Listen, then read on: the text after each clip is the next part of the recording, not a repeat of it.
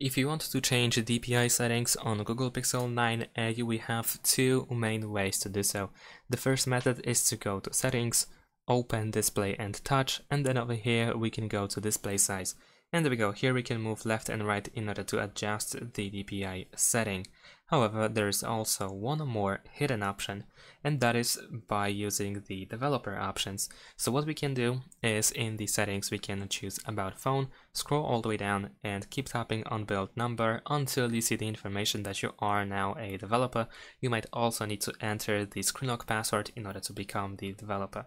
Once you see the information that you uh, that you have become one, then we can go go back to the settings and choose system.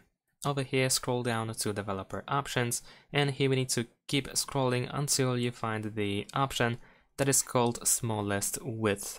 And there we go. Over here, there is it. Now, over here we can provide a smaller number in order to make the screen bigger and a bigger number in order to make the screen smaller. So let's say if I set a value of 200, then the screen will become much bigger. Actually, the minimal value that we can use is, is 320. So um, we need to, so it will be set if we set up a lower number. However, you can also set up a bigger number. Let's say I'm gonna set it up to 600. There we go. Let's press OK. And as you can see, now the screen is much smaller and we even have those additional buttons over here. So that's about it.